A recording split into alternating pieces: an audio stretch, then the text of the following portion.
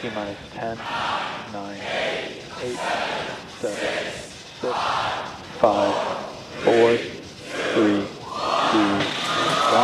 Ignition and go Falcon, go Polaris. Copy, 1 Alpha.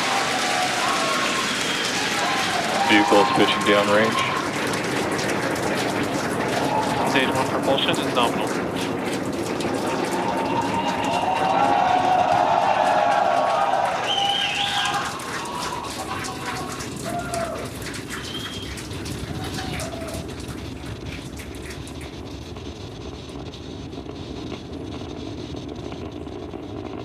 T plus 35 seconds into the Polaris Dawn mission.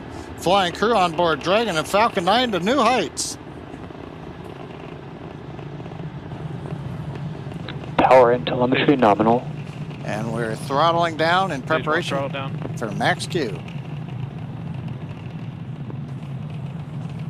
Next call out, the vehicle supersonic. And there on the left side, we got the Falcon Polaris 9 Dawn supersonic.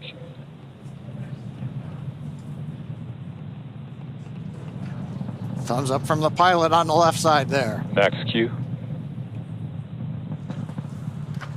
We're throttled back throttle up up. to power, One Bravo.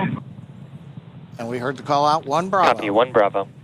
That just tells the crew what would happen uh, should they need to initiate anything. But right now, everybody making nominal callouts on Falcon 9.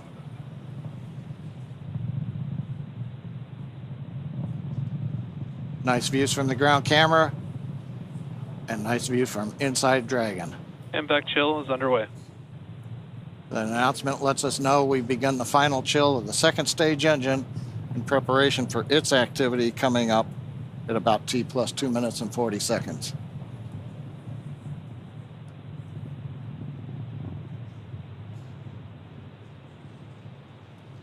Two minutes into flight. Everything continues to look good. We'll have in half a minute three major activities shutdown of the nine Merlin 1D engines, stage Stage 1 separation, throttle down. and then ignition of the second stage engine.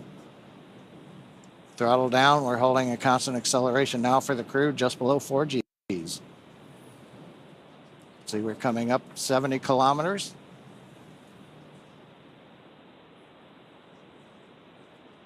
Preparing for MECO. Main engine cut off. Two Alpha.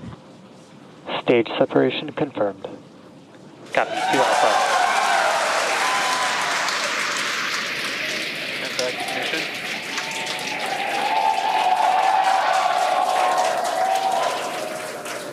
As you can tell by the cheers behind us and the views on your screen, the first stage booster now on its way to attempt landing on just read the instructions.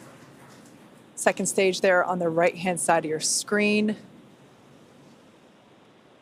You can see that the first stage has not yet reached its apogee. You can see the altitude there. Lots of thumbs up there excuse me, from pilot Scott Kidd Poteet. Now three and a half minutes into the Polaris Dawn mission. First stage continuing to make its way up, up to its apogee. We'll see that altitude begin to slow down. Dragon SpaceX trajectory nominal. Great news there, indicating Dragon copy. that the second stage trajectory is looking good. Now the grid fins have deployed on the first stage. If we get first stage views, we might be able to see the Florida coast in the background. Oh, they're right there. Yeah, we sure can. Once again, the, our drone ship is attempting to land on, um, excuse me, our booster is attempting to land on our drone ship. Just read the instructions.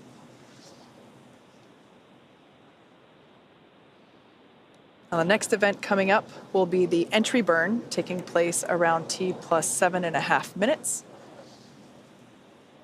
This burn will utilize three of the engines on the first stage. That helps to slow the booster down as it re enters the Earth's atmosphere. Dragon SpaceX, trajectory nominal. Dragon copies. Following the entry burn, we will see the landing burn, and that'll be around T plus nine minutes. That one will be just a single engine burn. And that will bring the booster down for a soft landing on our drone ship. Around the same time as that, we expect to see Dragon um, be, we expect to see Dragon be injected into orbit. Everything continuing to look good for second stage there on the right hand side of your screen. Beautiful glow with that MVAC engine nozzle.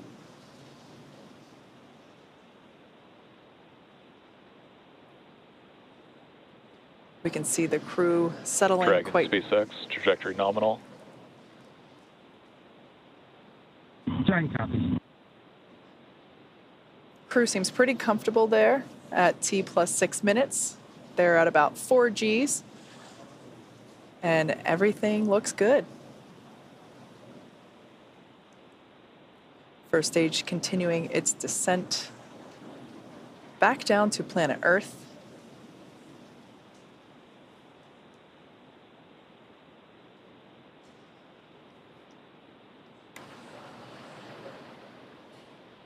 We can see the crew remain with their visors down in the locked position.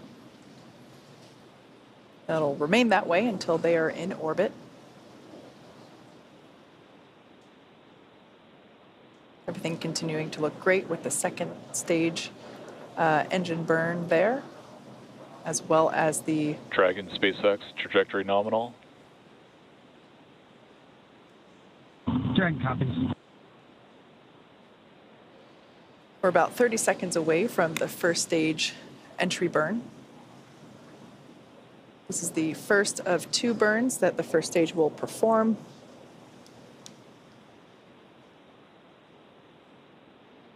Designed to help reduce the amount of drag experienced by the first stage.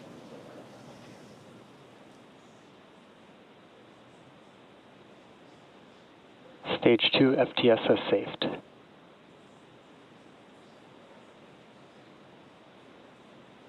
All right, standing by for entry burn begin on the first stage, there on the left-hand side of your screen.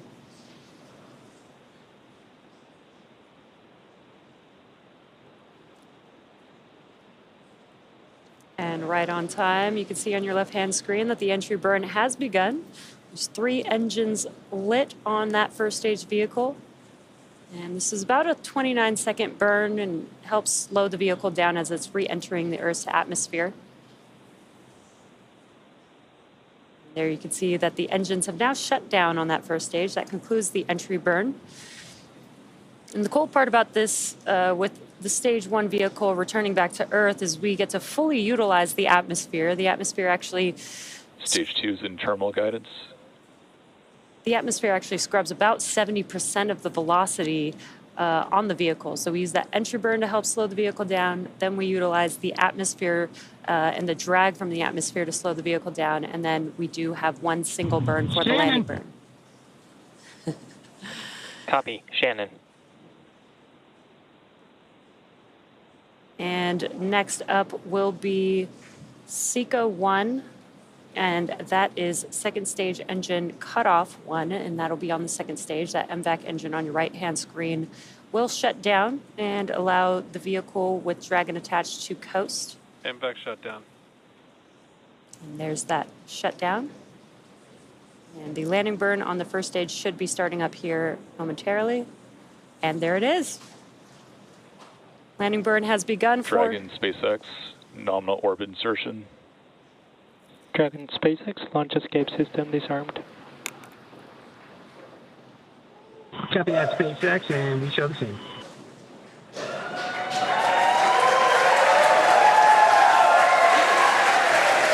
And a lot of events happening right there, but you can see that the stage one vehicle has touched down. Um, just read the instructions.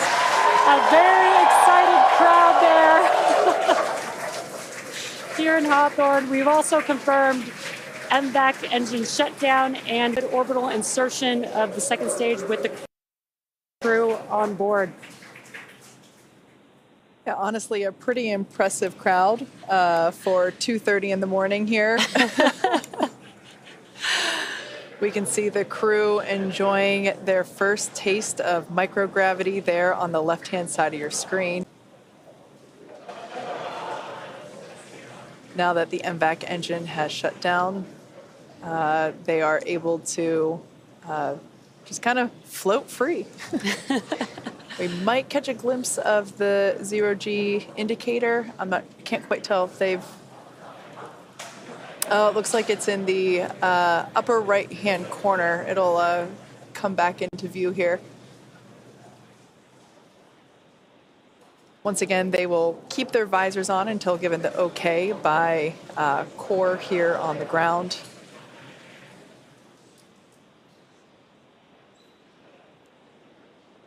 At this point in time, the Dragon and the Dragon trunk remain attached to the second stage. Second stage is basically safing itself um, in preparation for uh, the separation from the Dragon trunk. Of course, the trunk will remain attached to the Dragon capsule all the way up until the point in which we begin re entry operations. The trunk is what will help provide power to the Dragon capsule while it is on orbit using its solar arrays.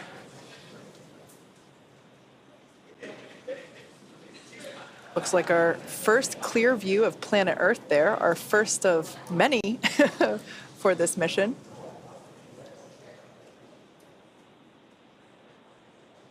And the next event coming up will be um, the separation of the dragon from the second stage.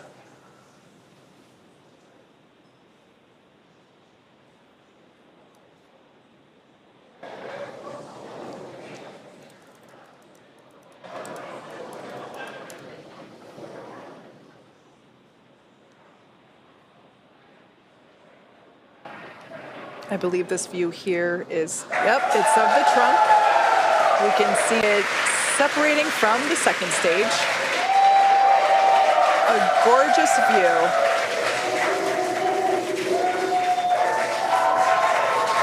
We can see that Polaris Dragon Dawn. separation confirmed. And copy that, SpaceX, we show the same.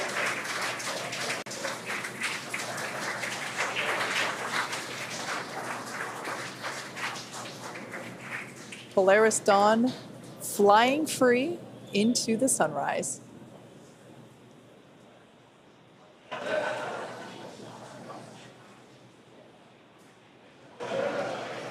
We're now at T plus 13 minutes and 5 seconds into the mission.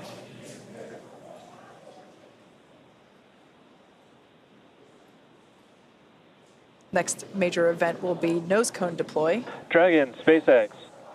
Today you embark on a journey not just for yourselves, but for all humanity.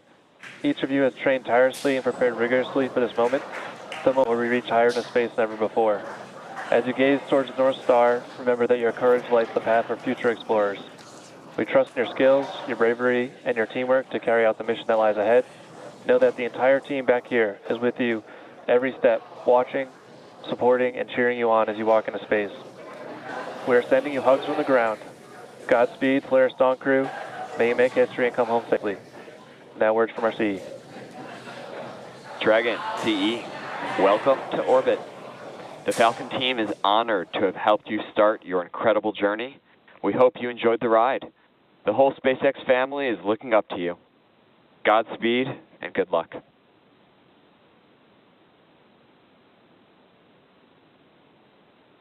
LD, CE, uh, message received. We appreciate the kind words. We wouldn't be on this journey without all 14,000 of you back at, uh, at SpaceX and everyone else cheering us on. We appreciate it, and we're going to get to work now.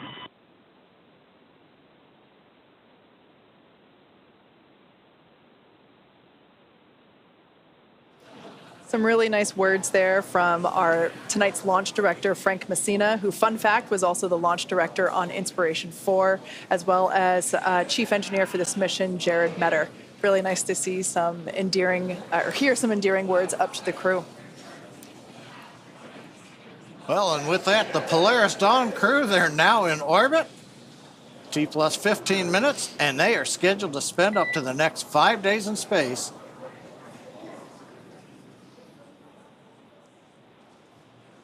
We heard that tone for a minute. We thought we might hear from the crew, but they're going to spend the next five days in space before splashing down off the coast of Florida. The Polaris Dawn crew is the the Polaris Dawn mission is the first mission in the Polaris program that will demonstrate new technologies, conduct extensive research, and ultimately culminate in a flight of SpaceX's Starship with humans on board. All of this while continuing to raise funds and awareness for important causes here on Earth. You can learn more about the Polaris Dawn program and the Polaris program at polarisprogram.com. This mission will fly higher than any Dragon mission to date, attempting to reach the highest Earth orbit ever flown for a crewed spacecraft, breaking the record set by Gemini 11 half a century ago. And there it looks like we can see uh, some nose cone separation action happening. Now, the Polaris Dawn crew will also be the first to test the Starlink laser based communications in space. Over the course of the mission, we'll be checking in periodically with the crew. Next up, Dragon will initiate a two day pre breathe process to prepare the crew for their upcoming spacewalk, and that'll be this Thursday, September 12th. Dragon SpaceX nominal dehumidifier activation and service section Draco checkouts, and nose cone open is in progress.